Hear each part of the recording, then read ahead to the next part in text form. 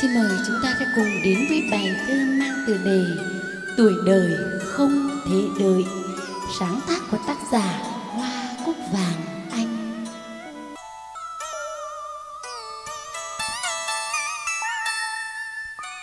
Phấn trắng quen rồi mấy chục năm, Thân thương bụng già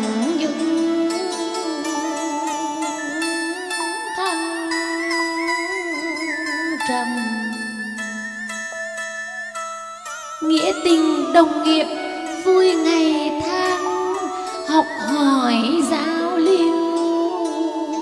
Chẳng ngại ngần.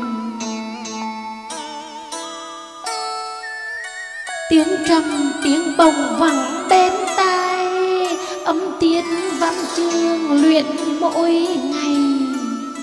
Cô giáo miệt mài vui đến lớp học trò, ham học vẻ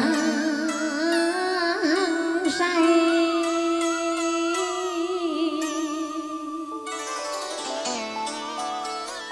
Giờ đây trở lại thăm trường xưa, cô lai đò nay cũng mới vừa.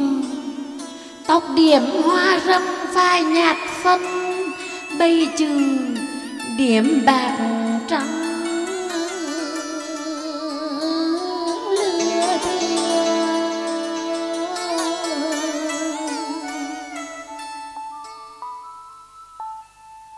Thấy gốc phường xưa nay đã già, nghe lòng sao xuyên chút phôi pha tuổi đời mới biết không chờ đợi liễu bút giờ đây cũng nhạt nhòa.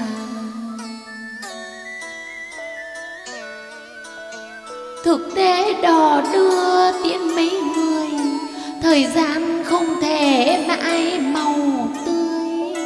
Cho tình xưa vẫn như nồng thắm. Để kẻ ra